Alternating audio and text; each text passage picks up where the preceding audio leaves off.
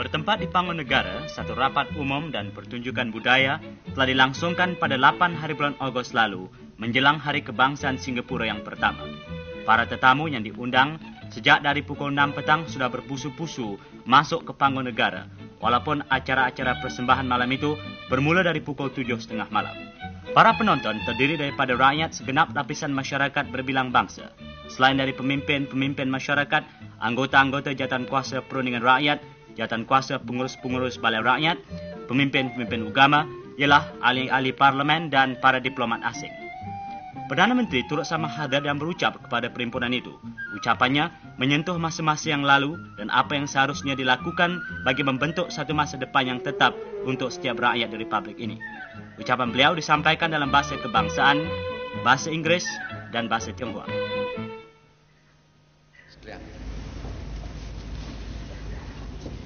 Esok kita mulai tahun yang kedua.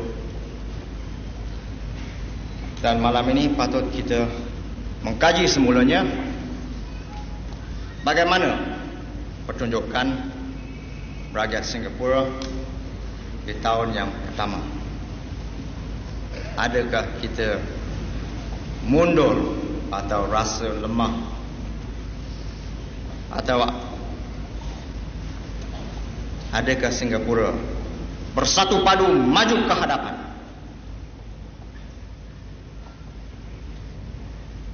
Tak payah.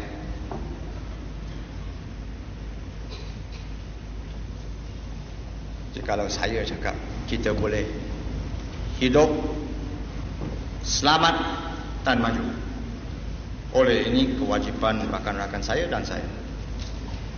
Tetapi pertunjukan rakyat Singapura dalam tahun yang lalu menjadi bukti bagaimana suatu masyarakat yang giat bekerja yang ada inisiatif yang mau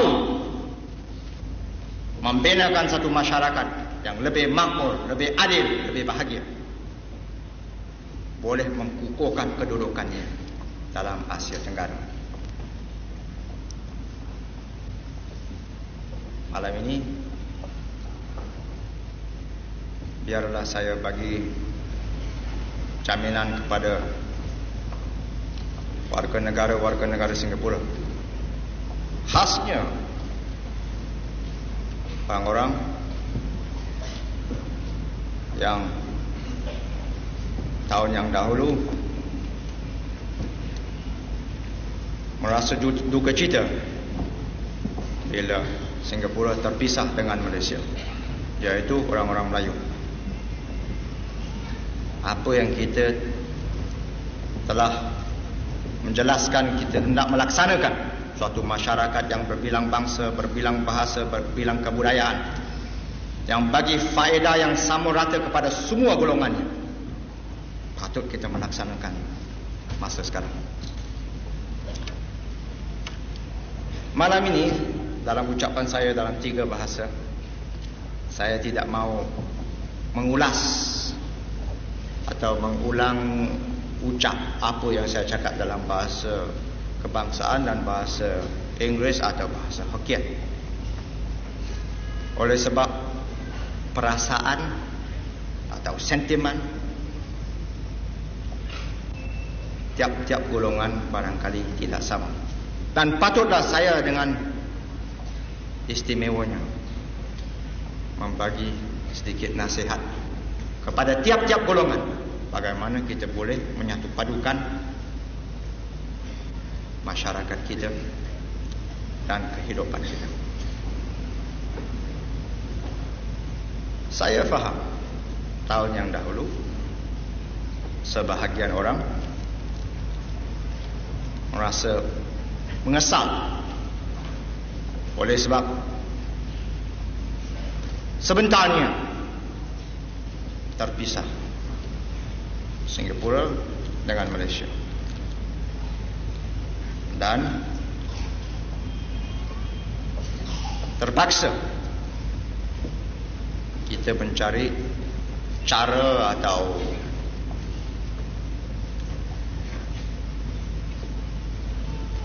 kebolehan yang lain. Bagaimana kita menubuhkan suatu masyarakat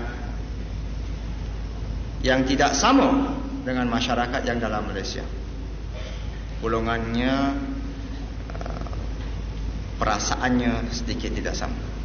Tapi saya bagi jaminannya maksud kita tidak ubah. Tetapi kedudukan kita terpaksa diubah dan patutlah cara dan taktik dan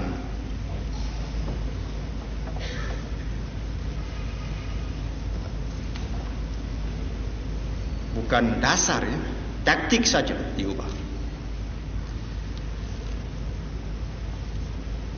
Saya percaya jikalau kita hendak dalam Singapura hidup saja untuk warga negara-warga negara Singapura saja ya. Kita boleh dikecualikan kepentingan-kepentingan penduduk-penduduk yang bilangannya tidak begitu besar di negeri Singapura. Tetapi akhirnya kita mau dalam Asia Tenggara membenakan satu masyarakat yang asasnya lebih luas dan juga yang boleh membagi kepada semua pihak biarpun bumi putra atau orang asli atau orang asing kehidupannya puas hati kepada semua yang sempurna itulah sebabnya pendirian kita tidak diubah. Masa barangkali banyak-banyak.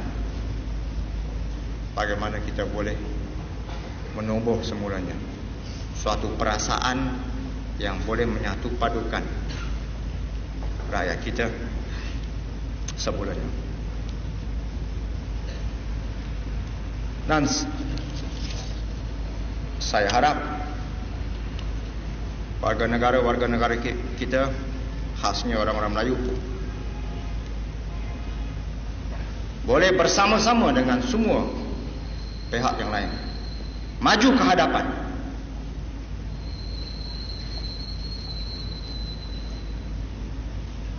mengambil pendirian yang menyesuaikan kepentingan-kepentingannya kepada zaman yang akan datang Jangan tengok ke belakang di zaman yang dahulu kala yang tidak boleh membaikikan masyarakat kita. Tetapi melihat pada hadapan pada satu zaman yang boleh mengubahkan cara hidupan semua manusia dalam dunia ini dan jika kita gunakan ilmu yang baru atau teknik yang baru boleh menumbuhkan satu masyarakat yang memuaskan hati semua rakyat kita. Dan akhirnya saya harap kita bersama-sama mengkaji semula. Bukan saja kejayaan kita. Ada kesusahan dan kesalahan juga. Tahun 64 dua kali rusuhan tahun 65 dipecatkan keluar dari Malaysia. Kekalahan, tetapi mengkaji semua. Bukan untuk hendak pergi ke belakang tetapi hendak mendapat ilmu ya. Latihan. Pelajaran bagaimana kita akan datang boleh dengan telitinya melaksanakan rancangan kita lebih lancar untuk satu masyarakat membagikan kehidupan yang puas hati kepada semua warga negara-warga negara kita. Terima kasih saudara-saudara sekalian.